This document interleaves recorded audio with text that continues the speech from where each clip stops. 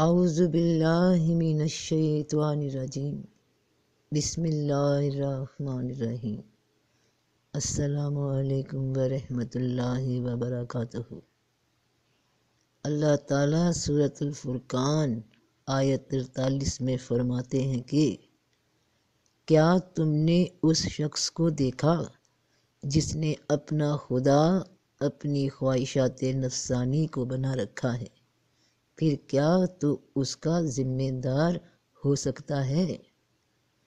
یہ تو کون ہے؟ کس کو کہا جا رہا ہے؟ اس تو کی حقیقت کیا ہے؟ انسان سب سے زیادہ قریب اپنے نفس سے ہے۔ بھوک نفس کو لگتی ہے، محسوس روح کو ہوتی ہے۔ ضرورت نفس کی ہوتی ہے، محسوس روح کرتی ہے۔ روح نفس کی ذمہ دار ہو جاتی ہے۔ کیونکہ اس نے کچھ مانگا تو اس نے اس کے لیے کوشش کی، یا اسے دلوایا یا اسے منع کیا۔ نفس کی خواہش پوری کی۔ روح نے تب بھی کوشش کی۔ نفس کو خواہش سے روکا، تب بھی روح نے کوشش کی۔ پھر جب میں اسے پورے طور پہ، ٹھیک طور پہ بنا لوں اور اس میں اپنی روح میں سے پھونک دوں تو اس کے لیے سجدے میں گر پڑنا۔ کیا سجدے میں گر پڑنا؟ یعنی یہ سرکل دنیا کا، اس کی آب و ہوا، اس کا پانی، اس کا سورج، چاند، ستارے، سب انسان کے لیے کام کر رہے ہیں۔ انسان کے کام آ رہے ہیں۔ اس کو قائم رکھنے کے لیے بنائے گئے ہیں۔ یہ سارا نظام۔ بن ایک جان رہی ہے مٹی سے۔ بن آدم رہے ہیں مٹی سے اور سونپا روح کو جا رہا ہے۔ اے لوگو، اپنے رب سے ڈرو، جس نے تمہیں ایک جان سے پیدا کیا اور اسی جان سے اس کا جوڑا بنایا۔ تو بن آدم رہے ہیں، بن جان رہی ہے تو جان بن گئی اور اب جان میں روح پھونک دی گئی، اس جان کا جوڑا یعنی اس جان کا جوڑا روح سے۔ یہ روح اور جان یعنی روح اور نفس کا جوڑا جڑ گیا۔ اللہ پاک نے کہا فرشتوں سے کہ جب میں اس آدم کو مکمل ٹھیک بنا لوں تو تم اس کے آگے جھک جانا۔ رب پاک نے آدم کو بالکل ٹھیک بنا کر اسے روح کے حوالے کر دیا، امانت کے طور پہ دے دیا۔ کہ تمہیں اسے واپس کرنا ہوگا۔ روح نے اقرار کر لیا اور نفس یعنی جان اس میں رکھ دی گئی اور اللہ وہی ہے جس نے ایک شخص سے تم سب کو پیدا کیا۔ پھر ایک تو تمہارے ٹھکانے کی جگہ ہے اور ایک امانت رکھے جانے کی جگہ۔ تحقیق ہم نے کھول کر نشانیاں بیان کر دی ہیں، ان کے لیے جو سوچتے ہیں۔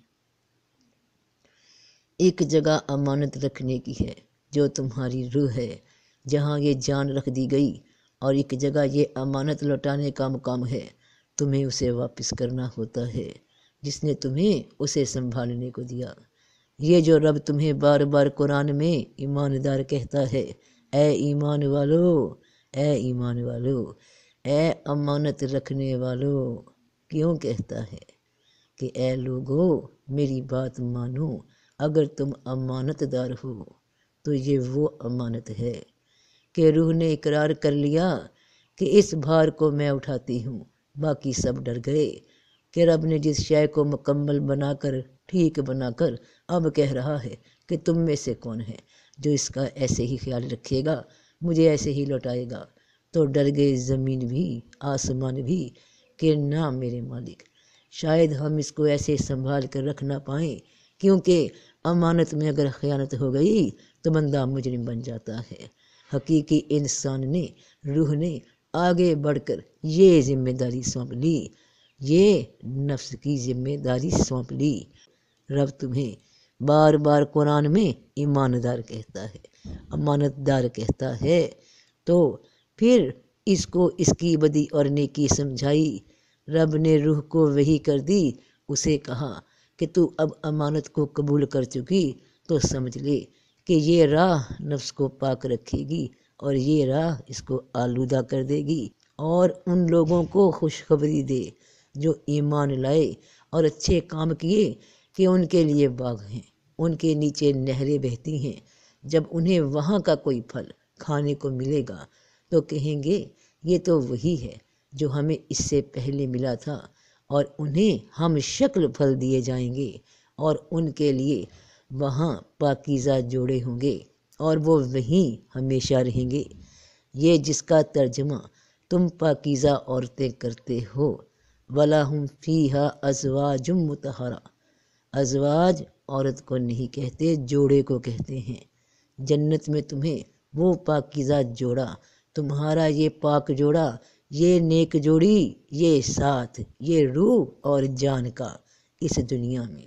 دوبارہ وہاں وہ پھل، وہ ہم شکل پھل دیے جائیں گے۔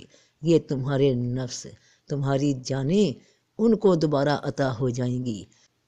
ان روحوں کو، جنہوں نے اپنے نفس کو ان خواہشات سے پاک رکھا، جس سے رب نے منع فرمایا۔ تم کہو گے، روح کہے گی یعنی اصل انسان کہے گا، ارے یہ تو ویسے ہی ہیں، ہمارے وہ ساتھی، میرا وہ دوست، میری وہ جان، میرا وہ نفس جو میرے ساتھ تھا، جسے میرے رب نے ازل میں پہلی بار مجھ سے جوڑا تھا، اور دنیا کی موت میں میں اس سے جدا ہو گیا۔ یہ میرا پیارا ہم سفر مجھے پھر مل گیا۔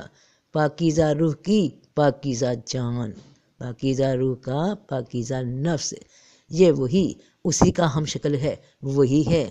اب ذرا سوچو کہ تم سے کوئی بچھڑا ہوا، تمہارا پیارا، تمہاری جان، تمہاری محبت، تمہارا دوست اچانک تمہیں پھر مل جائے، تو کیا حال ہو تمہاری خوشی، تمہارے دل کا، تمہارے سکون کا؟ کیا حالت ہو؟ جب تمہارا بچھڑا، تمہارا جوڑا تمہیں پھر مل گیا، تو تم مکمل ہو گئے۔ تمہاری ادھوری ہستی مکمل ہو گئی۔ اور یہی ہے وہ مکمل کامیابی جو رب کی رضا سے حاصل ہوتی ہے، ورنہ روح عذاب میں پڑ جائے گی، عذاب میں پڑ جائے گی۔ اور اگر تجھے کوئی وسوسہ شیطان کی طرف سے آئے، تو اللہ کی پناہ مانگ لیا کر۔ بے شک وہ سننے والا، جاننے والا ہے۔ بے شک جو لوگ خدا سے ڈرتے ہیں، جب انہیں کوئی خطرہ شیطان کی طرف سے آتا ہے، تو وہ یاد میں لگ جاتے ہیں۔ پھر اچانک ان کی آنکھیں کھل جاتی ہیں۔ کوئی تمہارا یہ نفس، یہ تمہاری جان، یہ تمہارا جوڑا، جب تمہیں کوئی ایسی بات کی خواہش ظاہر کر دے جو رب کی بنائی ترتیب کو تمہارے وجود میں خراب کر دے، تو تم اسی وقت اپنے رب کو یاد کر لینا، روح پیچھے ہٹ جائے گی، اس کام سے جو رب کو پسند نہیں، جس کے حکم میں جس کے حکم اس نے قرآن میں بتا دیے کہ یہ کام مت کرنا، مت جانا قریب شجرائے ممنوع کے۔ جیسے ہی روح کا رب کی جانب رجحان ہوگا، آنکھیں کھل جائیں گی، بچا لیے جاؤ گے بچ جاؤ گے جب نفس غلط ارادہ کرنے لگے تو اللہ کو یاد کر لینا۔ اللہ نے جو اصول انسان کو عمل کرنے کے لیے قرآن میں تاکید کیے، وہ اس میں مکمل رکھ دیے، جس کے بارے میں ارشاد فرمایا۔ کہ جب میں اسے ٹھیک طور پہ بنا لوں، پھر جب میں اسے پورے طور پہ ٹھیک طور پہ بنا لوں، نیکی کے ان اعمال کے ساتھ۔ اور کیونکہ جوڑا تھا، ان کاموں کا بھی جو انسان کو کرنے سے منع فرمایا گیا، ان کو ایک جگہ رکھ دیا گیا۔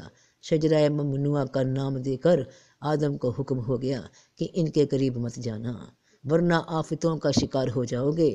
اس بناوٹ سے ہٹ جاؤ گے جو رب نے تمہاری ٹھیک بنائی۔ تم جب خود اپنے سے کچھ بناؤ گے تو بگڑ جاؤ گے، کمی آ جائے گی۔ تو یہ جان، اے روح، اے آدم، تجھے امانت کے طور پہ دی جا رہی ہے۔ اسے ایسے ہی رکھنا، سنبھال کے۔ جیسا کہ میں تاکید کر رہا ہوں، تو بات ٹھیک رہے گی۔ اس امانت کو ایک دنیاوی مثال سے سمجھنا۔ امانت ہوتی کیا ہے؟ مثال کے طور پہ۔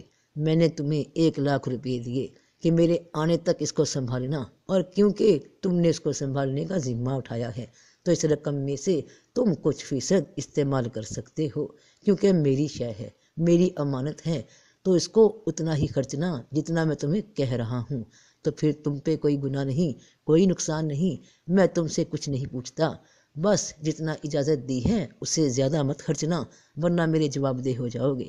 کیونکہ میں نے تمہیں پہلے ہی آگاہ کر دیا اور تم اس امانت کو پا لینے کے بعد، عہد کر لینے کے بعد پھر بے ایمان ہو جاؤ۔ اب تمہارا دل مانے ہی نہ کہ میں اسے واپس کیوں کروں؟ یہ سارے پیسے میرے ہی ہو جائیں، مجھے واپس نہ کرنے پڑیں۔ تم سارے پیسے ہی اپنے سمجھ لو اور مجھے واپس دینے سے انکار کر دو۔ اور جب میں تمہیں یاد دہانی کروانے کو کہ یہ میرا عہد تھا، تم نے مجھ سے وعدہ کیا تھا۔ اپنے علاقے کے ایماندار نیک لوگوں کو بھیجوں، تمہاری جانب کہ تمہیں یاد کروائیں میرے سے کیا وعدہ، میری امانت کا، تو تم آگے سے انکار کر دو۔ ان سے جھگڑو میرے ان نیک بندوں سے کہ ہم نہیں مانتے کوئی امانت وغیرہ۔ وہ تو ہمارے پیسے تھے، ہم کیوں دیں؟ تو یہ ہے وہ شجرہ ممنوع جس کے قریب رب پاک نے حضرت آدم علیہ السلام کو جانے سے روکا کہ اپنے نفس کی مرضی پہ اس کو مت چھونا۔ تو اور ہم نے اس سے پہلے آدم سے بھی عہد لیا تھا، پھر وہ بھول گیا اور ہم نے اس میں پختگی نہ پائی۔ بڑی غور طلب آیت ہے کہ پھل تو دونوں نے کھایا تھا، آدم نے بھی ہوا نے بھی، جیسا کہ ہم سنتے آئے ہیں، پڑھتے آئے ہیں۔ مرد نے بھی، عورت نے بھی۔ مگر ایک واحد کو کہا جا رہا ہے کہ کسی ایک سے عہد لیا تھا، یہ ایک کون ہے؟ روح ہے۔ جو جان کی، نفس کی بات مان بیٹھی۔ اور اس حالت میں روح نہ مرد تھی، نہ عورت۔ وہ صرف انسان تھی۔ وہ صرف انسان ہے۔ اور جب نفس کی بات پہ، جان کی بات پہ، جان کی خواہش پہ روح نے اس کی بات میں ساتھ دیا، رب کے منع کرنے کے باوجود تو سلسلہ شروع ہو گیا۔ روح اس ایک جان سے دو وجود میں تقسیم ہو گئی۔ تب ایک وجود کو پتہ چلا۔ اس دن شعور ملا کہ وہ مرد ہے اور دوسرے وجود کو پتہ چلا کہ اسے عورت بنا دیا گیا۔ اور اس تقسیم کے بعد خود کو چھپانے کے لیے، اس حقیقت کو چھپانے کے لیے خود پہ پتے چپکانے لگے، شرمندے ہو گئے کہ جو ظاہر ہو گیا تھا وہ چھپ جائے، مگر وہ ظاہر ہو گیا۔ تو کیا تم نے اس شخص کو دیکھا جس نے اپنا خدا اپنی خواہشات نفسانی کو بنا رکھا ہے؟ پھر کیا تو اس کا ذمہ دار ہو سکتا ہے؟ تو اے روح، کیا تو اپنی اس جان کی ذمہ داری لیتی ہے؟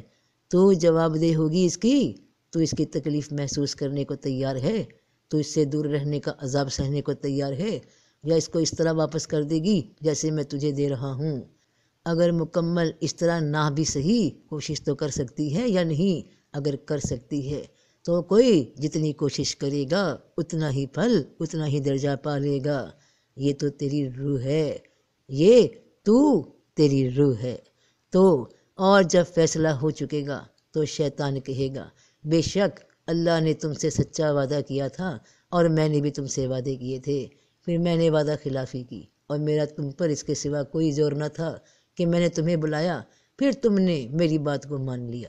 پھر مجھے الزام نہ دو اور اپنے آپ کو الزام دو۔ نہ میں تمہارا فریاد رس ہوں اور نہ تم میرے فریاد رس ہو۔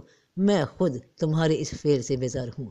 کہ تم اس سے پہلے مجھے شریک بناتے تھے۔ بے شک ظالموں کے لیے دردناک عذاب ہے۔